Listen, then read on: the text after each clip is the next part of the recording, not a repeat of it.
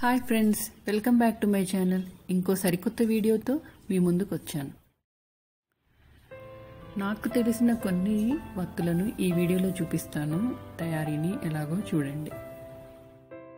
కార్తీక మాసంలో ఎవరి దగ్గర విన్నా ఎవరి దగ్గర చూసినా ఈ వత్తులు అనేవి కనబడుతూ ఉంటుంది. దీపారాధన చేస్తూ శివాలయాల్లో ముందుగా మనం ఈ విధంగా పత్తిని మనం కాసేపు ఒక గంట సేపు అయినా ఇలా ఎండలో బాగా తగిలేలాగా పెట్టుకోవాలి. ఇలా ఎండ తగిలేలా పెట్టుకుంటే అది పత్తి అనేది మళ్ళీ అందులో ఉన్న సీడ్స్ తీయడానికి ఈజీగా వస్తుంది. అంతేకాకుండా దాంట్లో ఏమైనా దోషాలున్నా పోతాయి. ఇంకేంటంటే మనం పత్తి చే పత్తి చేయడానికి ఈజీగా వస్తుంది అప్పుడు. చూడండి అందులో సీడ్స్ అనేవి ఇలా తీసేయాలి. ఇలా ఈ విధంగా సీడ్స్ అనేవి తీస్తే మనం పత్తి తీ- వత్తి చేసుకునేటప్పుడు ఈజీగా ఉంటుంది. మనకు అడ్డు తగలకుండా ఉంటుంది. ఇలా ఈ తీసిన సీడ్స్ని ఆవు పెట్టడం కూడా చాలా పుణ్యం. ఈ విధంగా ముందుగా గింజలన్నీ తీసేసి పక్కన పెట్టుకోవాలి.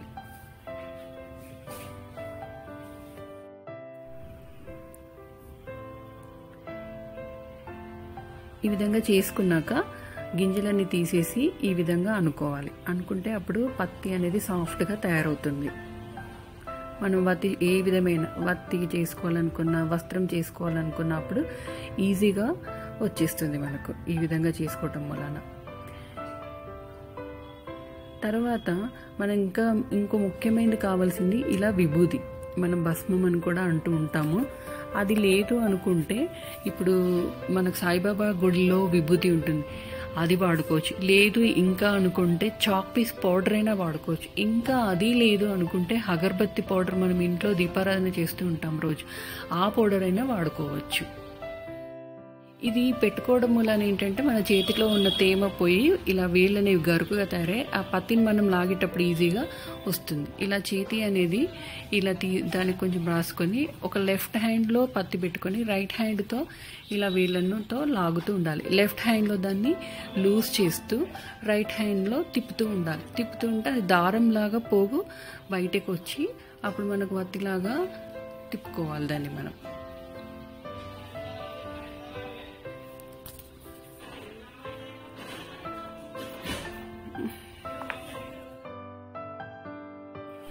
ఇలా మనం ఎన్ని పోగులు అయితే చేస్తామో ఇప్పుడు నేను ఐదు పోగులతో చూపిస్తాను ఐదు పోగుల వత్తి అని. అలా అన్ని పోగులు తిప్పుకోవాలి.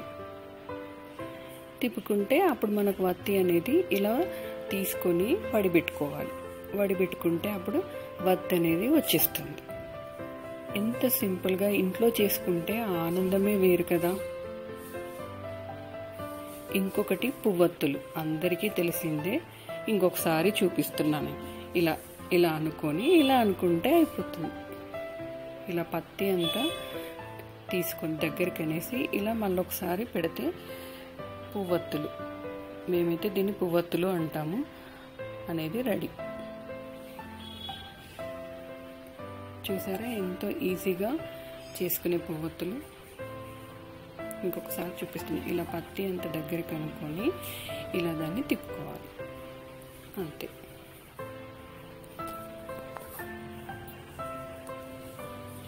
పువ్వొత్తులు రెడీ అవుతుంది.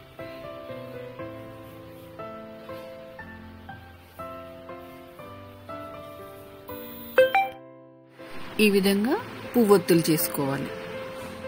తర్వాత పొన్నాలు అంటారు. దాన్ని ఇలా పుల్లతో ఇలా చేయొచ్చు చూడండి. ఇలా టూత్ పిక్ ఒకటి తీసుకొని లేదు ఇంకా వేరే పుల్లలు మామూలుగా కొత్త పుల్లలను ఏదైనా వాడుకొని పెట్టుకొని ఇలా పత్తి అంత పెట్టుకొని ఇలా నలిపేసుకోవాలి.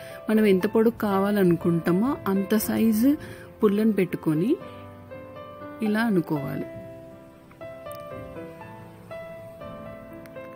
తర్వాత అందులో నుంచి తీసేసి ఇలా ఒకసారి అనుకుంటే పొన్నాలు అంటారు. మనం పెద్ద దీపాలలో వేసుకుంటాం మామూలుగా వీటిని.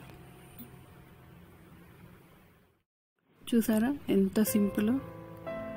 నాకు తెలిసిన మూడు రకాల వత్తులని ఈ కార్తీక మాసం సందర్భంగా ఈ వీడియోలో మీ ముందుకు తీసుకొచ్చాను. వత్తుల్లో కూడా చాలా రకాలు ఉంటాయి ఇందులో నేను పొన్నాలు పువ్వొత్తులు పోగులు అని మాత్రమే చూపించాను. ఇప్పుడు ఇక్కడైతే ఐదు పోగులను చూపించాను. మనం ఎన్ని పోగులు కావాలనుకుంటామో అలా తొమ్మిదని పదకొండని ఇరవై ఒకటని పదహారని ఇలా ఎన్నంటే అన్ని విధాలుగా మనం తీసుకుంటూ పోయి చేసుకోవడం. ఒకసారి మనకు ఒక తీగ తీయడం అనేది వచ్చిందంటే ఇంకెన్నో రకాలైన వత్తులు చేసుకోవచ్చండి. మన చేతులతో మనం చేసుకున్న ఆనందం అనేది వేరుగా ఉంటుంది ఎప్పుడైనా. అదండి. Hope you enjoyed